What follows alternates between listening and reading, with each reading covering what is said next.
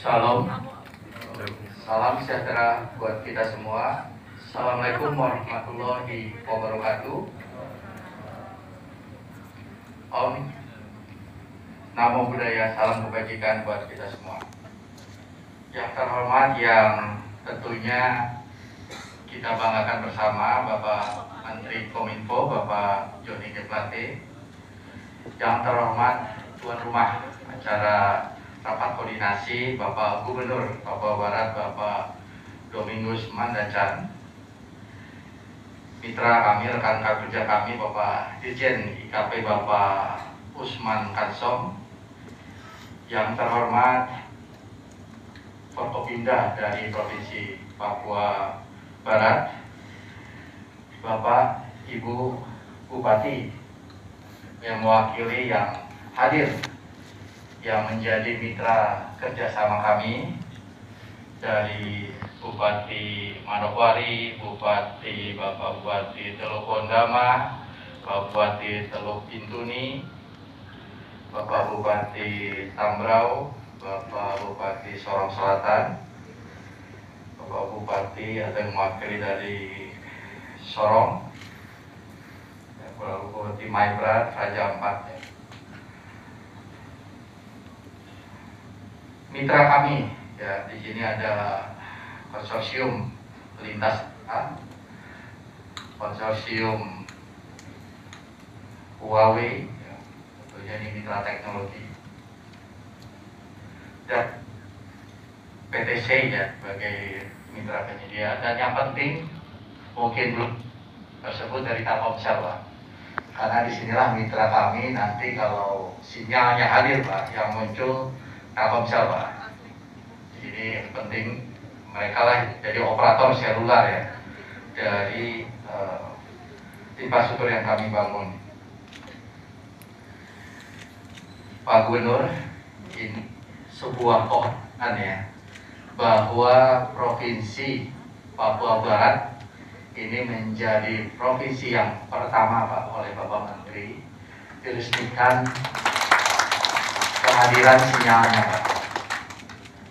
Jadi karena dalam dua tahun 2021 dan 2022 akan dibangun sebanyak 7.904 lokasi ya, desa. Inilah yang pertama Pak kami meresmikan. Jadi ini sebuah kalau saya boleh cerita Pak Gubernur, izin Pak Menteri saya buka peresmian ini menghadirkan sinyal adalah sebuah proses panjang, Pak. Sebuah proses panjang yang mungkin perlu saya ceritakan sampai hadirnya sinyal ini.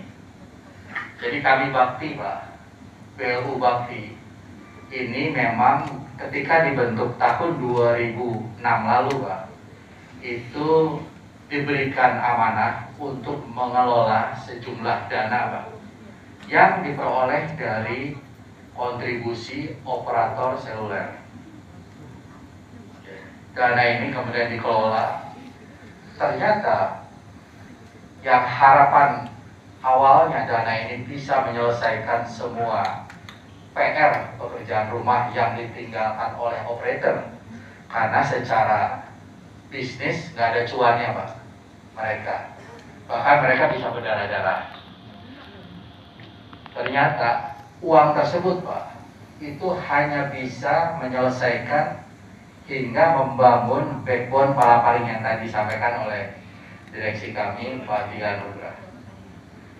Jadi Pak Joni Plate ketika menjadi Menteri Kominfo di 2019 kami informasikan Pak ini sinyal melalui palaparing belum sampai ke masyarakat baru berhenti di ibu kota provinsi atau ibu kota kabupaten.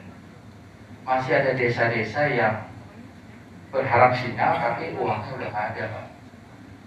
Nah, proses untuk mendapatkan pembiayaan Pak di luar dana kontribusi operator itu Pak, proses yang panjang Pak.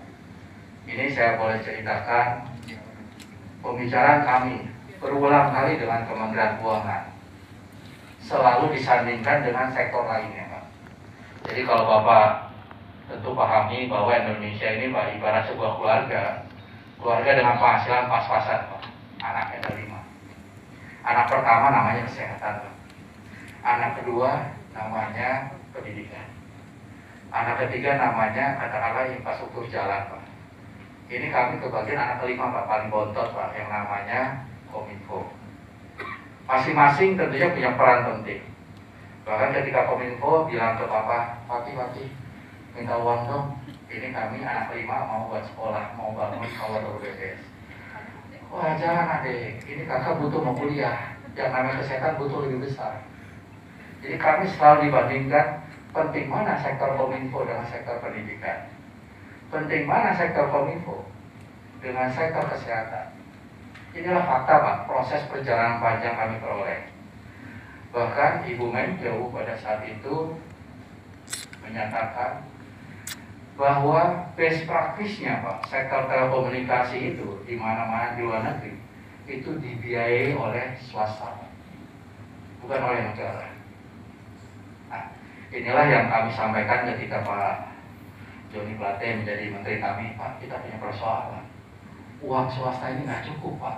PR yang dikasih terlalu banyak.